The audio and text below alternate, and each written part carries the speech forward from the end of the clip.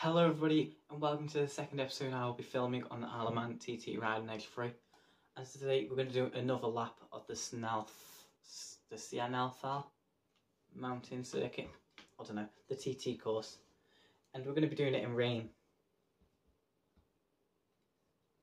I know. And we're going to be doing this challenge on a leaderboard.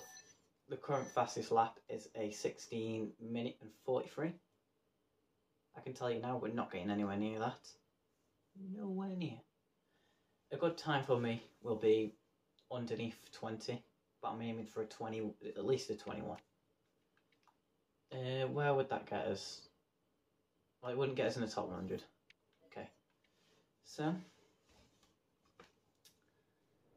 let's get into it, I guess. It's the bike we're going to go with. Of course, Michael Dunlop this is the career mode part, so come on, track map. Of course, it's the same track, the TT course, like I told you in the intro. Because if you weren't listening, you sort yourself out and start listening. I I kind of learned how to do a start. There you go. We didn't do a massive wheel that time. Traction control all the way up, we'll have. I'm not very good at this start part. With this first few bends, I always come off it. Oh god. Oh well, there you go. We couldn't even get past one slight bend. That is supposed to be flat out. So that's lovely. Next slight bend. Oh god. I'm gonna lift. There you go. Fully lifted there. I didn't know you're supposed to turn this corner. Oh, this is so slippy. I've got no grip. Oh, no grip at all. Like I broke a bit early, but I had no grip, so it is what it is. Full power now. Right next to the brick wall. Back into the middle of the road. Brake just past that lamppost then. Go around the corner. Don't crash. Lovely. And continue ahead. Oh god! Felt very twitchy there. At 1 minute 13 seconds into the lap. I'm still not doing bad. Come on. And of course you don't want to touch any of the curbs on this track or else you will get thrown off your bike violently. And that is the same for in the wet as well. Come on. That was close. Very, very close to the curb there.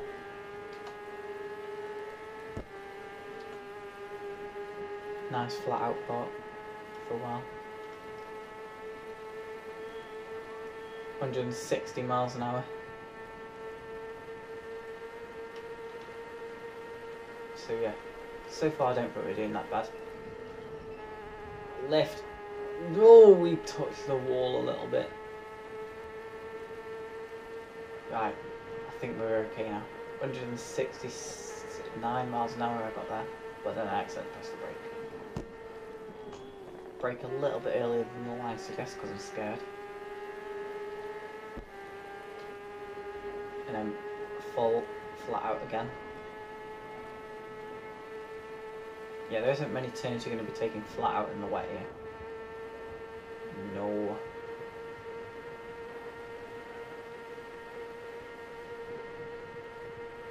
Come on. Oh, oh, on the curve. Crash number two. So let's get back into it. Back into the flow.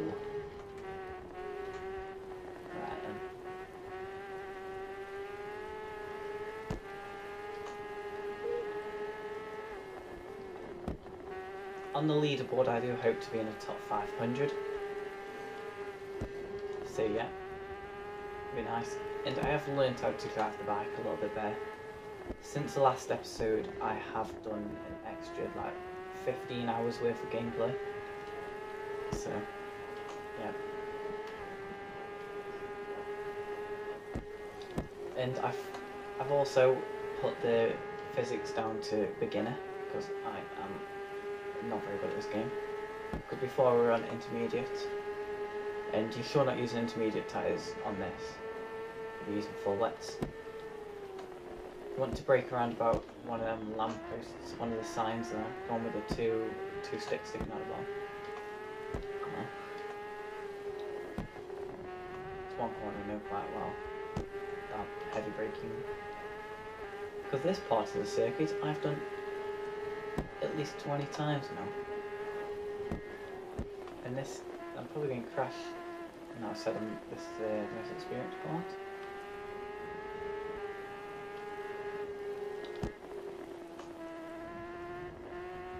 Because for your very first qualifying, very first unofficial qualifying, I did it loads of times because I did not understand the game at all.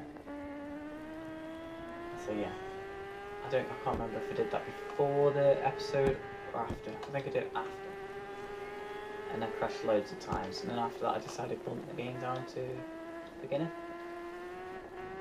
So yeah, let's get foot on this throttle now. If you know it's not foot. No, pedal to the metal.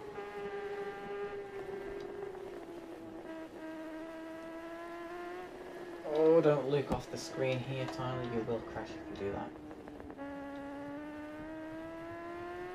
Oh, right, now this part now. Don't ask me how corner names, because I don't know. Oh.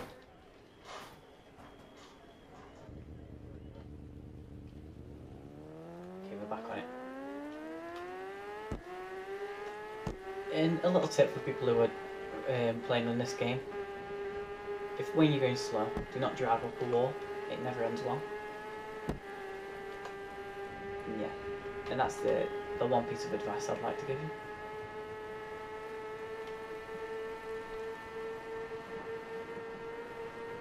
Right, now this, this corner, can I take it flat out? I'm I'm gonna go for it. I don't know. I'm going back out last minute. I reckon I could do that actually. This corner. Flat out corner. Brake on exit.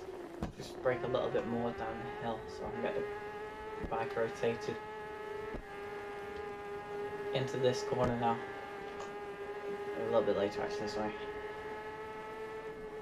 Don't brake too much because we're in the wet, we'll brake a little bit more though. Be wary of corner exit on the paint because the paint will be very slippery in the, the paint on the road of course. The, markings, they'll be very slippery in these conditions. So yeah.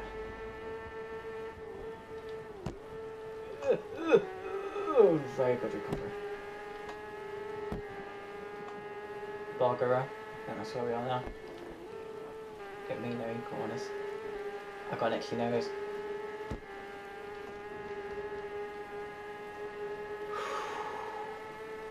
Right, get ready for this corner now. Break a bit extra because we're in the wet. And of course, if you do have a bit of confidence in the wet, then of course you can go quicker than what I'm doing now. Because I'm not an expert. I want to consider myself semi-pro.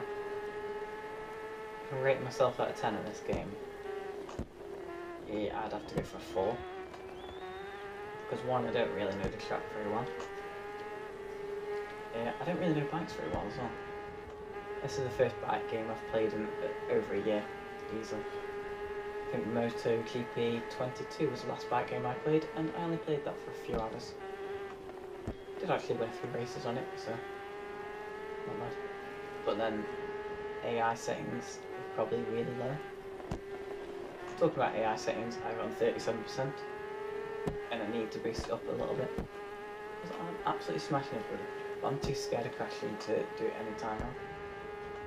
So probably for the time for the official TT, I'll I'll have it up to a proper a proper time.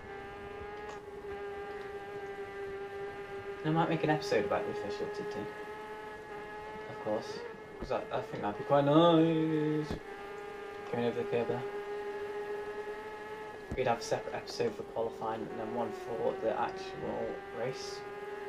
Course, I can't remember how the race works. I can't remember if it's four laps and a pit stop. But yeah, this this bike I'm on now is fully maxed out. It is. So yeah, coming up on the jump favourite. favourite corner on the track and I go and clip the inside wall. So I don't get the full experience of the jump. Of course, be careful about if, if you're going around a corner and on the apex there is a wall, don't touch the wall because you will fall off. Because that's how the bike works.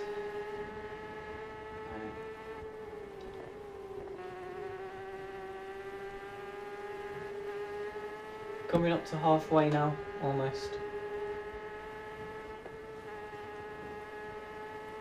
We're not too far away.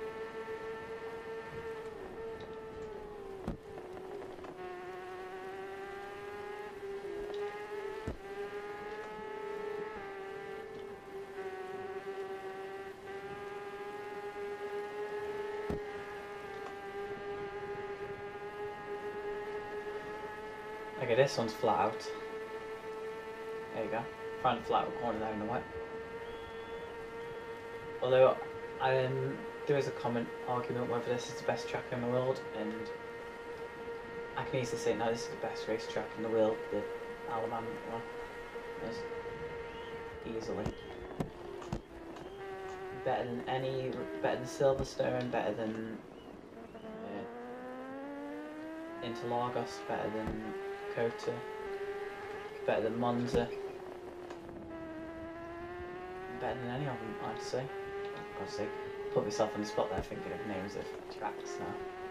Better than Qatar, better than Miami. What's the one? Yeah, it's Monza. Yeah, better than Monza. Better than Zandvoort. Better than Spa. Easily the best track in the world better than Mugello.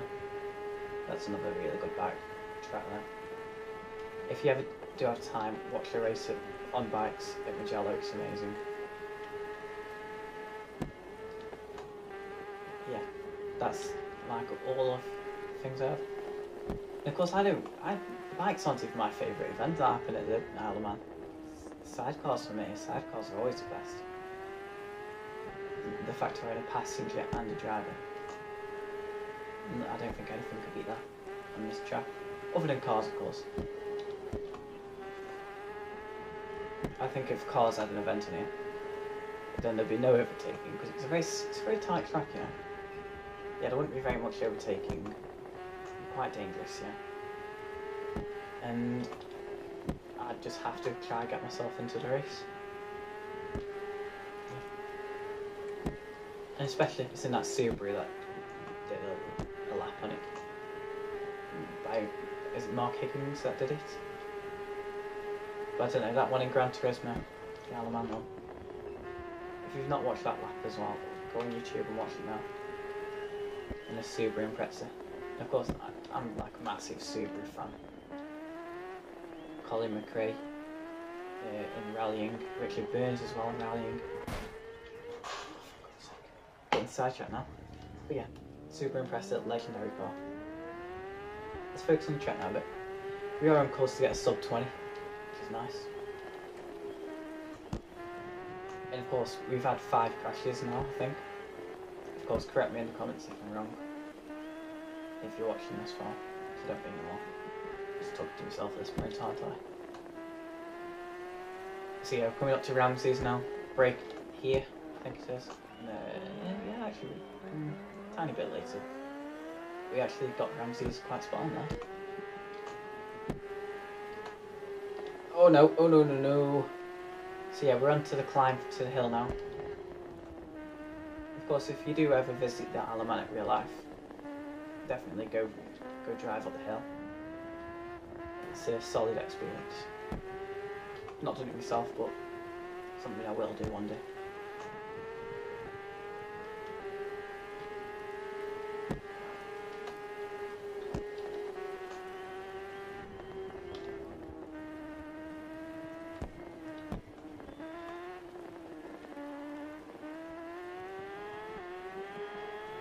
okay.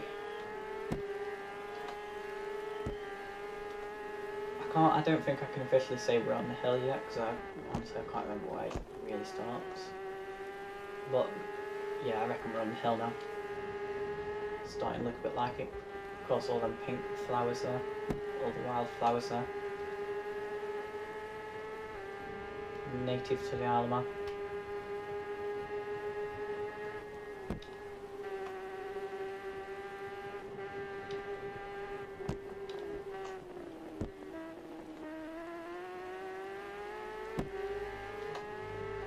You oh, always get a great view from this part of the track. It's one of the best looking parts of the track when it goes on the mountain here. Easily the best, one of the best parts. So yeah. 14 minutes into the run now, and about a quarter left to go. Not too bad. Not bad.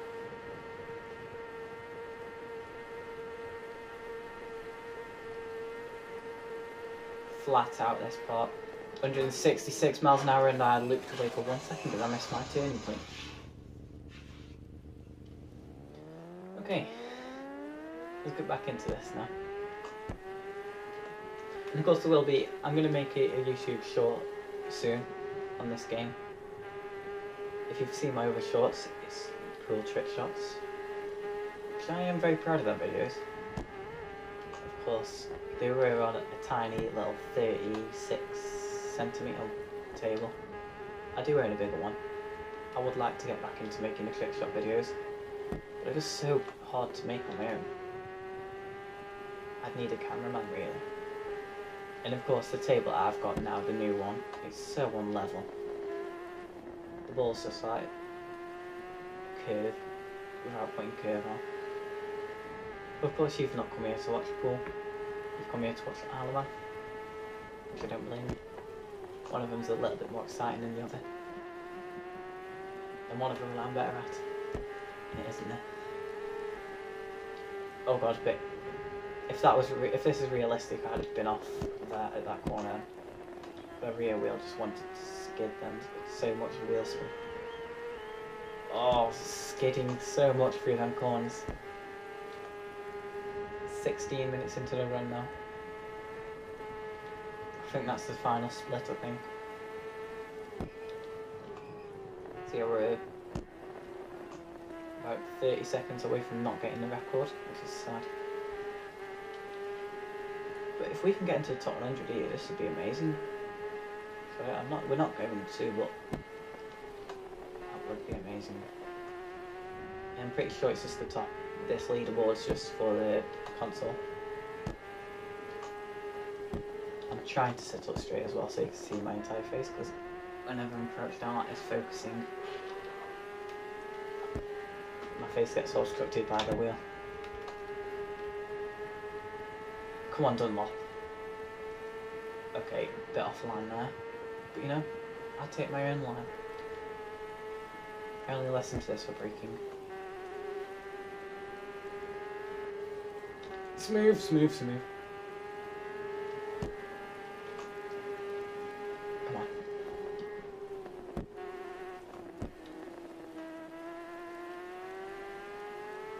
Right, now we're going to down the hill now. This by far is the scariest part for me.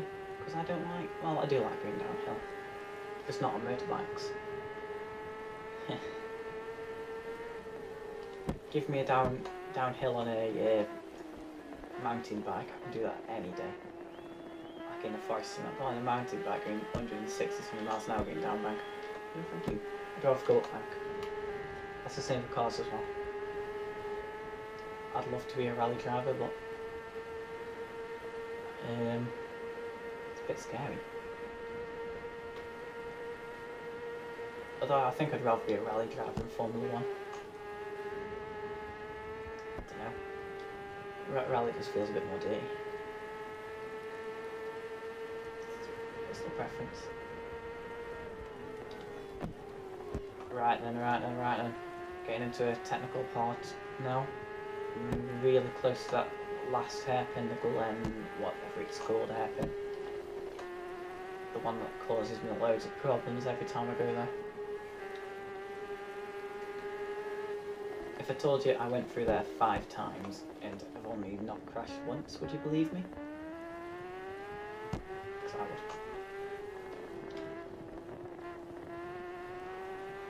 Come on. We're literally so close to the finish line. And we are on for that sub 20. Sub 20 run.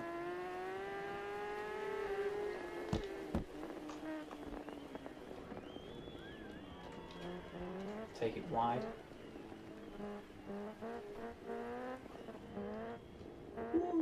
Oh my god. This last corner. Go on, power, power, power. Foot down, get your head down. Maximum aerodynamics. Come on. Scratch my eye. Make sure we don't crash. Oh god. Yes! We did it. Sub 20. 19 minutes and 20 seconds we did that in.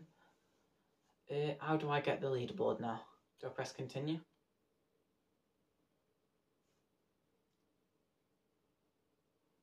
You know, even if I wasn't recording this, I'll be a bit mad. So let's have a look at the leaderboard. It was this one.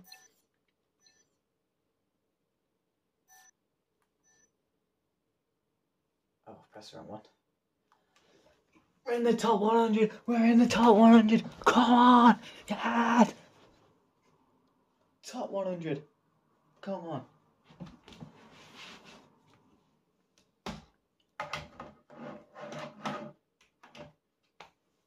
We're in the top 100 and we crashed five times. I'm just saying, I'm just saying, sub 19 is possible. Sub 19 is possible.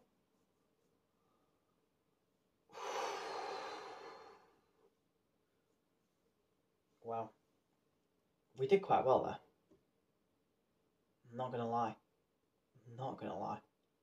I'm very impressed with that. On the Yamaha, not bad. I'll take that. I'll take that over crap result. But then yeah, how how far off are we off? Like seventieth, thirteen seconds. So if I get a if I get an eighteen, I'm sixty-two in the world. Well, on PlayStation, I think. Not bad. Wow. Yeah, we'll have to give that a try next episode. I don't know when next episode's going to come out, but it is what it is, eh? So then, this has been this episode of uh, Michael Dunlop. And if you've enjoyed this video, subscribe. If you watched this far, you should definitely subscribe because this will be the first time anybody's watched a full episode of mine. So yeah, subscribe and like, and you can go now.